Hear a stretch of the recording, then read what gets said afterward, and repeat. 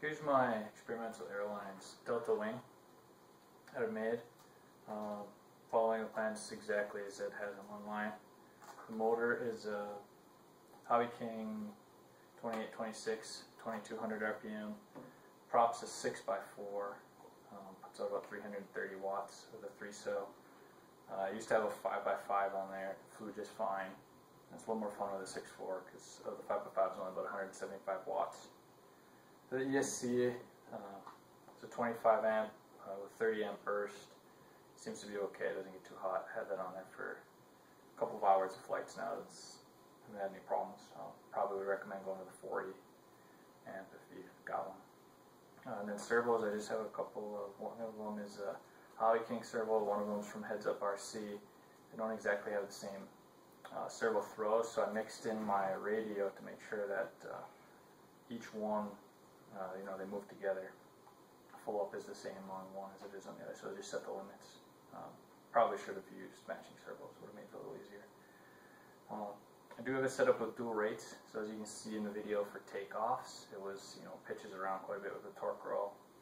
So I um, take off with the high rates, and then once it's up and flying, I like to use the dual, the low rates, um, make it a little more smooth. Uh, then for landing, switch back to the, the high rates. Um, that's basically it. Uh, I think you guys have seen the landing skid I put on there. Haven't broken a prop since. Love it. Um, might go with a you know 6 by 5.5 or so as a, an upgrade, but to do that I got to put a bigger ESC on. Um, and it's got plenty of power as it is, as you guys saw in the video. You know, straight up, straight down, whatever you want. Uh, batteries. This one here is a thousand. It'll fly about three minutes on a thousand. You can. I have a 1800. I fly it in there. Um, You can go about five minutes on that, but haven't put a 2200 in it because a little scared of the takeoff. So I usually just fly it short, fly it fast, and land and swap out the battery. I wanted to mention a little bit about takeoffs. Um, the 2200 kV motor takeoffs are a lot more difficult than I used to have um, a 1550 on here with a bigger prop. So I had a 1550 at around a 7 or 8 inch prop. There you just basically give it full power just give flick straight up and it would just go straight up. Um, not quite as much thrust with the 2200. As you saw in the video, I kind of had to throw it and throw it so that it was leaning to the right. Uh, and then by the time I got my hand down on the, on the sticks, it would be back to the left. It's not nearly as easy to take off, uh, I think, because of the smaller prop. So if this is your first time building this, I would recommend that you use something smaller than a 2200 kV motor.